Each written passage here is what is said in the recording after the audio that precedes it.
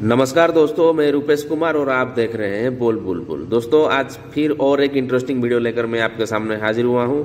आज मैं आपको वैक्यूम इंटरप्टर को कैसे चेक करते हैं, उसके बारे में पूरा मैं डिटेल में समझाऊँगा। दोस्तों, ये देख रहे हैं आप वैक्यूम इंटरप्टर हम इसको भी वैक्यूम बॉटल भी बोलते हैं। तो ये बॉटल को कैसे चेक करते हैं, कैसे हमको पता चलेगा कि वैक्यूम का अंदर सही है कहीं लीकेज वगैरह नहीं हुआ है वेयर एंड टेयर नहीं हुआ है। कैसे हम उसको पता करेंगे? आज मैं पूरा डिटेल में आपको समझाऊँगा। प्रैक्टिकल वीडियो होने वाला है दोस्तों।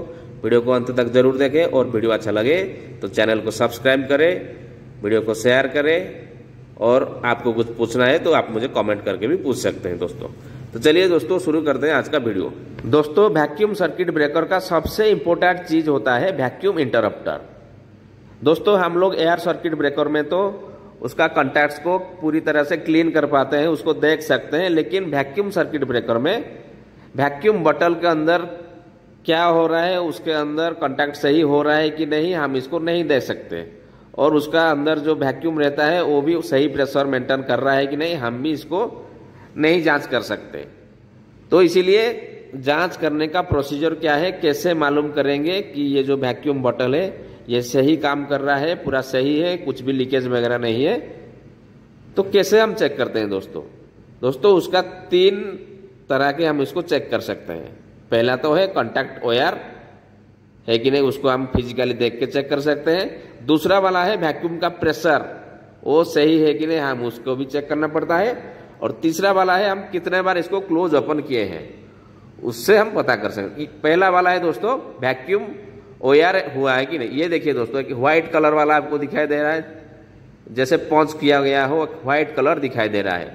तो इसी को आप देख के अंदाज़ा लगा सकते हैं कि आपका ये वैक्यूम इंटरप्टर सही है कि नहीं। तो कैसे पता करेंगे दोस्तों? पहले दोस्तों क्या करेंगे? हम इसको क्लोज कर देंगे। मानुअली हम इसको क्लोज कर देंगे। जैसे ही हम इसको क्लोज करेंगे तो हमको ये हमेशा दिखना चाहिए। जैसे देखिए दोस्तों, अभी हमने इसको क्लोज किए। तो क्लोज करने का टाइम हमको ये पूरी तरह से दिखाई देना चाहिए। ये मार्किंग अगर से दिखाई दे रहा है, इसका मतलब है कि आपका वैक्यूम बटल वेयर नहीं हुआ है। वेयर क्यों होता है? ज़्यादातर फॉल्ट की वजह से वेयर हो जाता है। क्लोज कंडीशन में बाहर से दिखाई दे रहा है मतलब ये सही है। तो दोस्तों सेकेंड पॉइंट है दोस्तों वैक्यूम का प्रेशर हम कैसे चेक करेंगे? वैक्यूम का प्रेशर हम दो तरीके से चेक कर सकते हैं। एक तो हो इलेक्ट्रिकली दूसरा वाला है मैकेनिकली दोस्तों। तो दोस्तों, कैसे हम इसको इलेक्ट्रिकली चेक करेंगे? इलेक्ट्रिकली चेक करने के लिए हमें इसे हाई वोल्टेज एसी सप्लाई देना पड़ेगा। ओपन कंडीशन में वैक्यूम सर्किट ओपन कंडीशन में हाई वोल्टेज एसी सप्लाई देना पड़ेगा। अगर इसका गैस का प्रेशर लो रहा होगा, सही प्रेशर मेंटेन नहीं किया होगा तो ये 10 सेकेंड भी उसी वोल्टेज को होल्ड नहीं कर पाएगा और ब्रेकडाउन हो जाएगा दोस्तों। तो दोस्तों, ऐसे ही हम पता करेंगे हाई वोल्टेज टेस्ट करके हम पता कर सकते हैं कि इस, ये जो वैक्यूम इंटरप्टर है, उसका प्रेशर सही है कि नहीं है। लेकिन दोस्तों हाई वोल्टेज टेस्ट करने के लिए हमको हाई वोल्टेज किट की ज़रूरत पड़ेगा। तो वर्किंग फ़ील्ड में हाई वोल्टेज किट हमेशा मौजूद नहीं रहता है। तो हम और एक मेथड से ये टेस्ट कर सकते हैं। मैकेनिकली हम इसको चेक कर सकते हैं। वैक्यूम सर्किट ब्रेकर को सर्विस में लेने से पहले हम लोग मैकेनिकली इसको चेक कर सकते हैं दोस्तों। तो दोस्तों मैकेनिकली हम इसको कैसे चेक करेंगे? तो दोस्तों just simple three step follow करके हम इसको चेक कर सकते हैं। पहला स्टेप में हम लिवर एंड जो इंसुलेटेड कपलर रहता है, उसको हम पहले खोल देंगे। खोलने के बाद जैसे ही हम इसको खोलेंगे, ये तुरंत क्लोज पोजीशन में चला जाएगा। जो वैक्यूम कॉन्टैक्ट है, वो तुरंत क्लोज पोजीशन में चला जाएगा।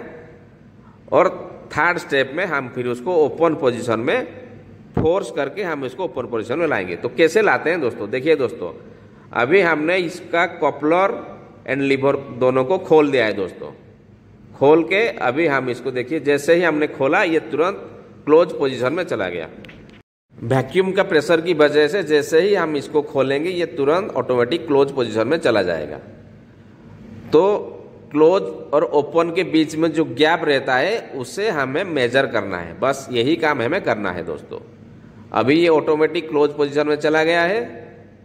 तो यानी हम इसको खींच के डाउनवर्ड खींच के, हम इसको ओपन पोजीशन में लाने की कोशिश करेंगे। तो उसके लिए ये बस, ये इंस्ट्रूमेंट की ज़रूरत होता है। उसे खींचने के लिए, बस पकड़ के उसे खींचने के लिए इंस्ट्रूमेंट लगाया जाता है। देखिए दोस्तों, अभी वैक्यूम इंटरप्टर क्लोज पोजीशन में है।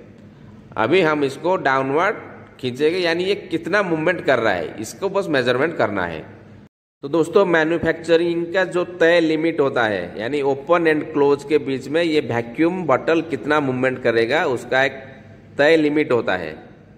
तो यहाँ पे हम जो ये मेज़रमेंट कर रहे हैं, ये उसका 18 एम mm का गैप रहता है दोस्तों। क्लोज एंड ओपन के बीच में 18 एम mm का गैप तो आप जहाँ पे जिस ब्रेकर जिस भी मेका ब्रेकर का इस्तेमाल कर रहे हैं, उसका भी एक तय लिमिट होगा। तो आपको बस वही लिमिट को मेज़रमेंट करना है, वो मेज़रमेंट सही है कि नहीं। अगर ये मेज़रमेंट आपका सही नहीं दिखा रहा है तो आप मान लीजिए कि आपका वैक्यूम बॉटल का गैस का प्रेशर लीक हो गया है, आपको वैक्यूम बॉटल को रिप्लेस करना पड़ेगा।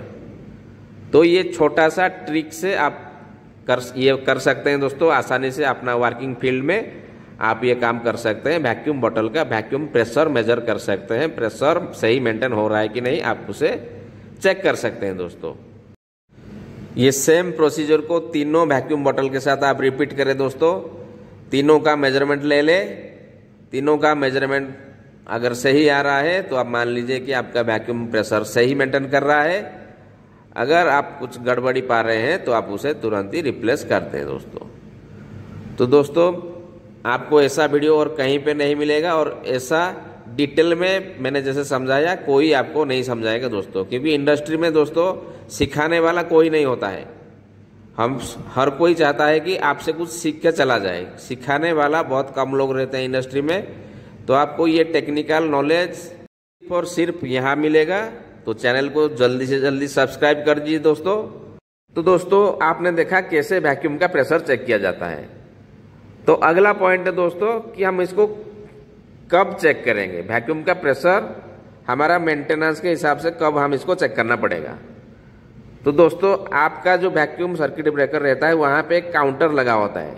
उसी काउंटर से आप पता करते हैं कि कितना बार वैक्यूम सर्किट ब्रेकर को ओपन क्लोज किया गया है दोस्तों।